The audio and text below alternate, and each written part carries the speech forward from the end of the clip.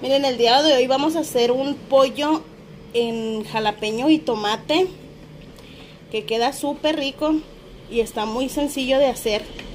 No se lleva mucho tiempo y queda muy rico. Bueno, si quieren saber cómo se hizo esta receta, vengan, acompáñenme.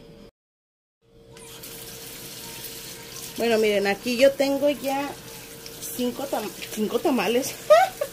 Traigo hambre. Cinco tomates bien rojitos y los vamos a lavar muy bien. Y así los vamos a partir. Ya que están bien lavados los vamos a partir los vamos a poner dentro del vaso de la licuadora. Bueno los partí en mitades para que sea más fácil para, para la licuadora molerlos.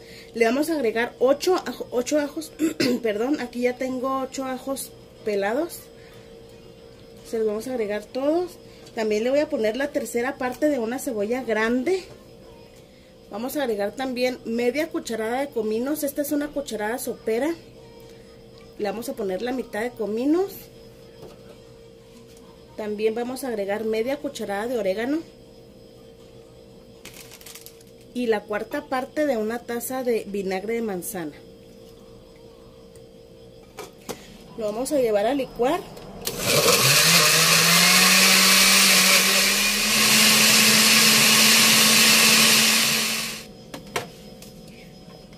Vamos a agregársela al gusto.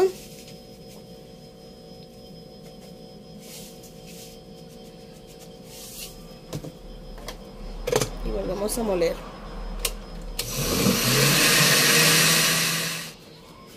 Miren, aquí yo tengo seis chiles jalapeños.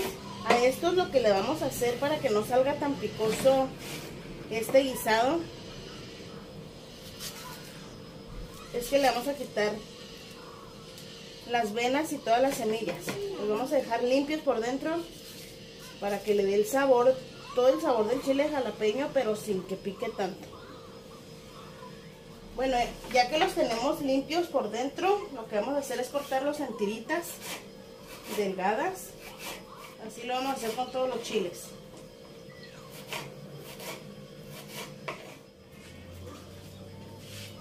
Ahora vamos a agregar el chile que ya cortamos en rajitas junto con media rama de cilantro.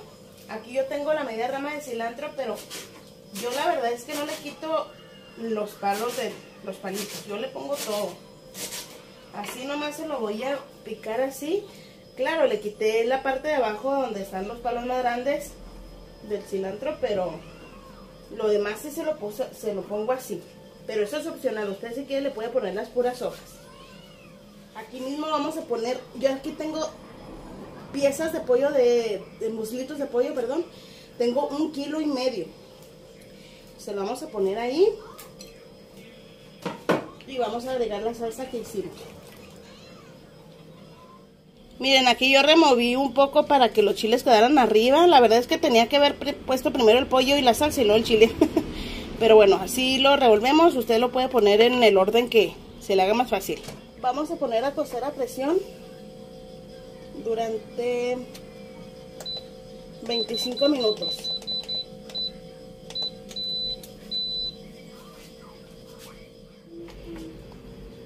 Miren, aquí ya quedó listo. Aquí ya servimos el, el pollito en jalapeño y tomate. Como les decía, no es bueno ponerle tanta agua al momento de licuar porque pues el pollo suelta mucha agua. Entonces se hace muy caldoso este, este platillo. Aquí lo vamos a acompañar con un arroz blanco, con elote y pues ya está listo para comer. Muchas gracias por haberme acompañado una vez más. Espero que les haya gustado mucho la receta. Esto fue todo por este video y aquí nos estamos viendo muy pronto en una siguiente receta. Gracias. Bye.